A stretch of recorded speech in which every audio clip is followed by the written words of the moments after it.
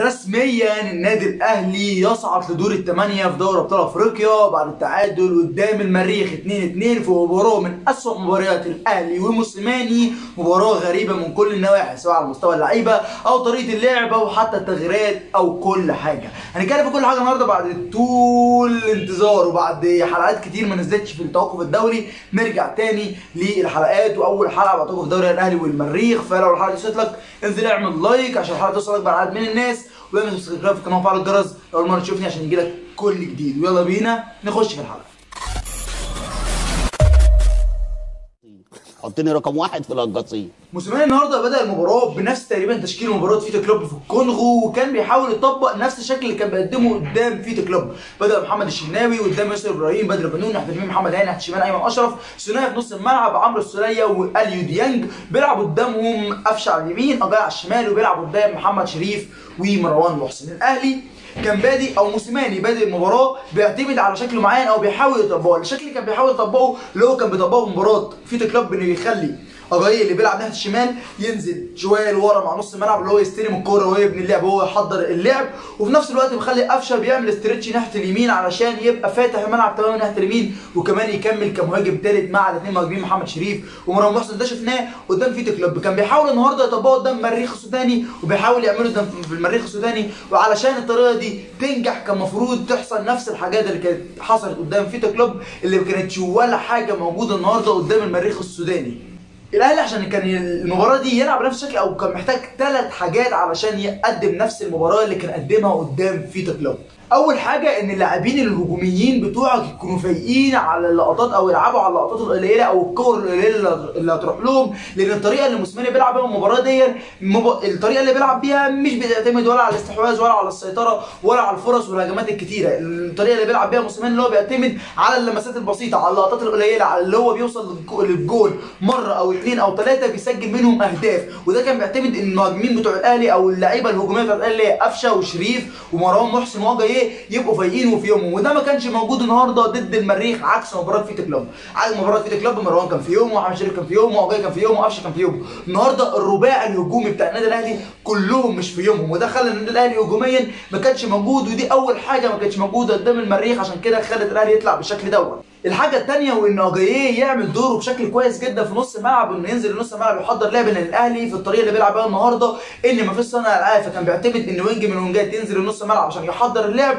وده ما كانش موجود النهارده لأن أجاييه كان بيفقد الكورة بشكل كبير جدا. أجاييه عمل miss pass ات كتير جدا. أجاييه النهارده كان تايه بشكل كبير ما كانش موجود في المباراة بشكل كبير. طول الشوط الأول أجاييه ما كانش فاهم ما كانش موجود وكل الكورة بيفقدها لنص الملعب. وزاد كمان على أجاييه إن الثنائي بتوع نص الملعب أليو ديانج وعمرو السولية ما كانوش بيقدموا أي شيء في المباراة. وده خلى الشوط الأول بتاع النادي الأهلي أو الشوط الأول في المباراة إن الأهلي كان نص ملعبه متاخد بشكل كبير من لعيبة المريخ والحاجة الثانية إنه مش عارف يطلع بالكرة تحت الفوق لأن ما فيش صانع ألعاب والطريقة اللي بيخليها جاي يخش بيها لعمق الملعب عشان يبوظ صانع الالعاب ما كانش بيطبقها بشكل كويس لأن جاي ما كانش في يومه وده الحاجة الثانية اللي كانت تخلي الأهلي شكله غريب قدام المريخ عكس مباراة فيتا كلوب. الحاجة الثالثه كمان إن قفشة يكمل لقرب منطقة الجزاء أو قرب ال 18 بتاعت الخصم ويكمل كمهاجم ثالث مع المهاجمين وده ما حصلش لأن النهارده قفشة ما كانش في يومه تماما. قفشة النهارده ما قدمش أي حاجة في المباراة. الشوط الأول ككل من الأهلي ما قدمش أي حاجة وغلطتين فرديتين من لعيبة الأهلي أدى إن الأهلي يخرج الشوط الأول 2-0 في البداية كورة ميتة جدا بنص الملعب بتترفع في منطقة الجزاء أو بتترفع بالونة منطقة الجزاء. بدر بنو ما بيطلعش مع الكورة بيخش اللاعب المهاجم بتاعهم بيحط الكورة بدماغه مميزة جدا في البعيده الجون الأول الاهلي بعدها على طول الجون الثاني الجون الثاني بسبب حاجتين أو بسبب ثلاث حاجات. الحاجة الأولى إن الرباعي بتاع الهجوم ما ضغطش على لعيبة المريخ وسابهم بكل أريحية يطلعوا بالكورة من تحت لفوق. دي حاجة. الحاجة الثانية إن محمد هاني اتقدم لقدام جدا جدا جدا عشان يضغط على اللاعب اللي داخل عليه وكان الرباعي بتاع نص الملعب أو في رباعي نص الملعب اللي هم أيمن أشرف ومحمد هاني وديانج وعمرو السولية الرباعي دول في نص الملعب اتضربوا بكورة واحدة بس. الرباعي كله متقدم عشان يضغط. اتضرب الكوره واحدة. through من لاعب المريخ في ظهر المدافعين اللي كانوا بيحاولوا يلعبوا offside game بدر بنون كان طالع. أيمن ياسر إبراهيم ما حاولش حتى يعمل offside game وحتى لو كان حاول يعمله ما كانش offside game لأن اللاعب بتاع المريخ ظبط ال offside كويس جدا. وراح انفراد من نص الملعب وسجل الهدف الثاني ودي غلطة ثانية ادت الاهلي يخش هدف ثاني وحصلت غلطة ثالثه غريبة جدا من بدر بنون اللي كان تايه بشكل غريب النهارده. وبيقدم مباراة من اسوء مبارياته مع الأهلي من ساعة ما جه. إدى ضربة جزاء من العدم للمريخ. ولكن المريخ دخل وضيع ضربة الجزاء وده اللي ساعد الأهلي الشوط الثاني لو ضربه الجزاء دي كانت جت كانت لعبكت الدنيا جدا جدا جدا على النادي الأهلي ولكن المريخ وضيع ضربه الجزاء بتخلص الشوط الأول 2 الشوط الثاني على طول الموسيماني بدأ بتغييرين.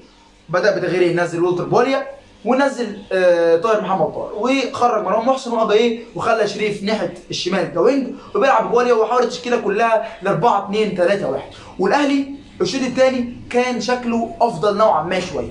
ليه كان شكله أفضل نوعا ما شوية؟ لأن الأهلي ابتدى يضغط على لعيبة المريخ نوعا ما شوية ابتدى يحاول الغلطات الدفاعية قلت قلت شوية. وكمان إن في غلطات فضلت مستمرة. اولا من الشارع اللي ناحية محمد هاني فضل مستمر تقريبا لنهاية المباراة. ليه؟ لأن أول حاجة محمد هاني بيدافع لوحده ومفيش حد بيسانده. وفي آخر المباراة تماما لما موسيماني فوق موسيماني يغير المباراة خلى أليو ديانج هو اللي يغطي مع محمد هاني. دي حاجة. وخلى قفشة ينزل مثلا يبقى مع عمرو السوليه في نص الملعب. الحاجة الثانية ان أرضية الملعب سيئة جدا جدا جدا جدا جدا جدا جدا لأبعد حد لأبعد حد من الحدود.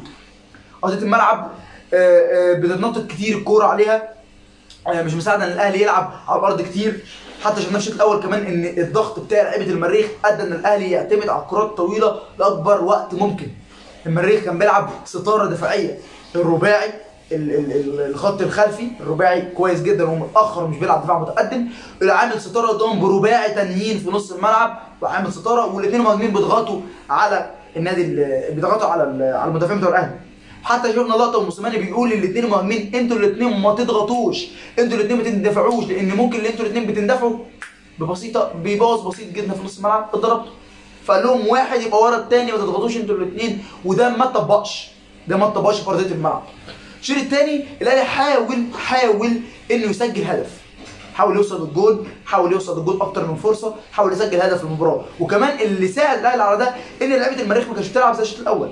ادي المريخ كانت بتضغط اول ما تخلص الكورة بتلعب direct play على طول. ولكن النهارده الشوط الثاني لعيبه المريخ ابتدت ليا تهدى شوية.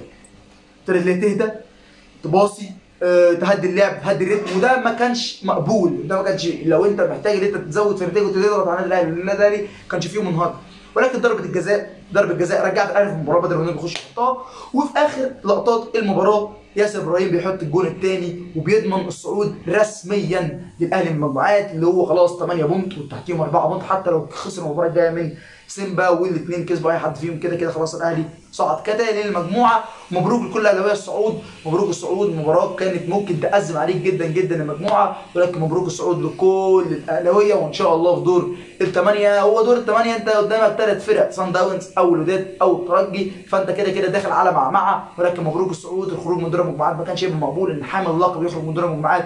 ده شيء مش مقبول. ولكن الصعود هيدي ثقة للاعيبه النادي الأهلي. يخلي موسيماني يفكر أكتر. أتمنى إن موسيماني في المباريات اللي خارج الأرض يفكر بشكل يعني أعمق شوية لأن موسيماني المباراة بتاعت فيتا كلوب كانت بالنسبة لي طفرة.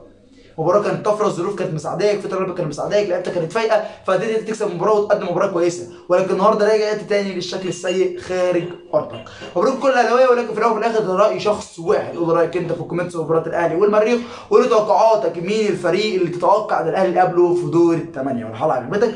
تعمل like عشان الحلقة توصل أكبر عدد من الناس. أول مرة تشوفني انزل اعمل subscribe في القناة وفعل الجرس عشان يجيلك كل جديد. وتابعنا على ال social media في ال description تحت. واعمل share على الفيسبوك retweet على تويتر. كان معاك مصطفى الحلقة الجاية. سلام.